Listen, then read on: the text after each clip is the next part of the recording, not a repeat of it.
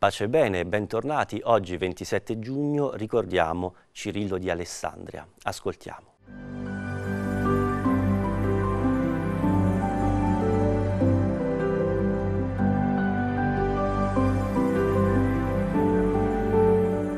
Cirillo nasce probabilmente ad Alessandria d'Egitto tra il 370 e il 380.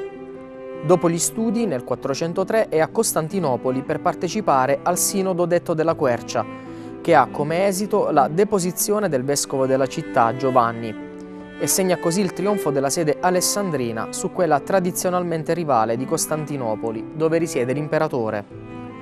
Dopo la sua nomina a vescovo, Cirillo ricompone la rottura della comunione con Costantinopoli, ma i contrasti si riaccendono quando nel 428 vi viene eletto Nestorio, che preferisce per Maria il titolo di Madre di Cristo, Christotokos, in luogo di quella già molto cara alla devozione popolare di Madre di Dio, Teotokos.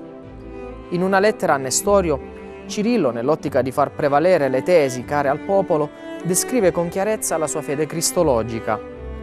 Affermiamo così che sono diverse le nature che si sono unite in vera unità, ma da ambedue è risultato un solo Cristo e Figlio, perché divinità e umanità, riunite in unione indicibile e inenarrabile, hanno prodotto per noi il solo Signore Cristo e Figlio. Perciò, sottolinea il vescovo di Alessandria, professeremo un solo Cristo e Signore. Cirillo ottiene che Nestorio venga ripetutamente condannato, ma riesce a giungere, già nel 433, a una formula teologica di riconciliazione. Muore il 27 giugno del 444. Vi propongo, per quanto riguarda le opere di Cirillo, una piccola lettura di quella che è la lettera a Valeriano, perché l'ho trovata molto profonda, ma anche divertente per alcuni tratti. E scrive, è possibile, come ritengo, sia per la forza che ha la verità di natura sua, sia per la prudenza della tua santità, che si possa opporre molto fortemente con argomentazioni una dottrina sicura alle sconsideratezze di alcuni quindi dice Cirillo a questo Valeriano, sono sicuro che sia per le tue capacità, ma anche perché la verità a volte si difende anche da se stessa, che tu puoi sicuramente rispondere a queste persone che dicono cose sconsiderate.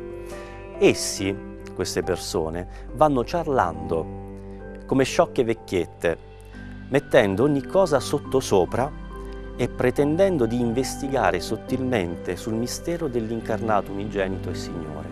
Ovviamente qui si parla della natura di Cristo, ma quante cose serie veramente al mondo di oggi sono messe in discussione da persone che diciamo la verità non hanno chissà che studio, chissà che preparazione, anche chissà che intelligenza, hanno solo un'opportunità di parlare e di poterlo fare a un grande pubblico, magari convincendolo, ma lo stile, come dice eh, il nostro Cirillo, è quello delle sciocche vecchiette che mettono eh, sottosopra le cose.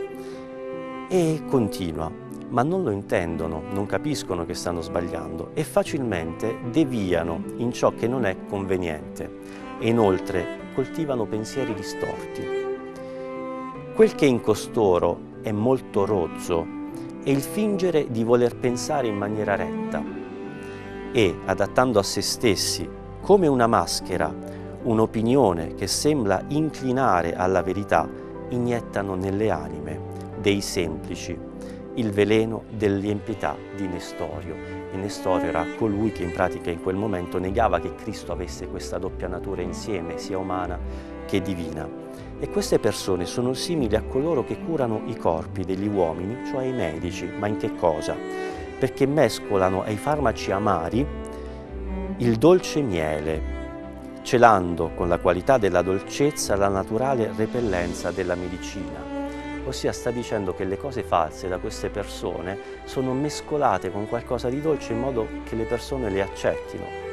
E io la trovo vera questa cosa anche al mondo d'oggi. Quante cose false vengono poi prese per vere solo perché magari sono di facile accesso, sono immediate da capire, allora uno le accoglie. E questa dinamica non è lontana dal nostro mondo e noi chiediamo a Cirillo la sua intercessione appunto perché possa eh, donarci la sua capacità di difendere la verità ma anche di cercarla, che un po' ci costa fatica e in questo ci siamo impigriti.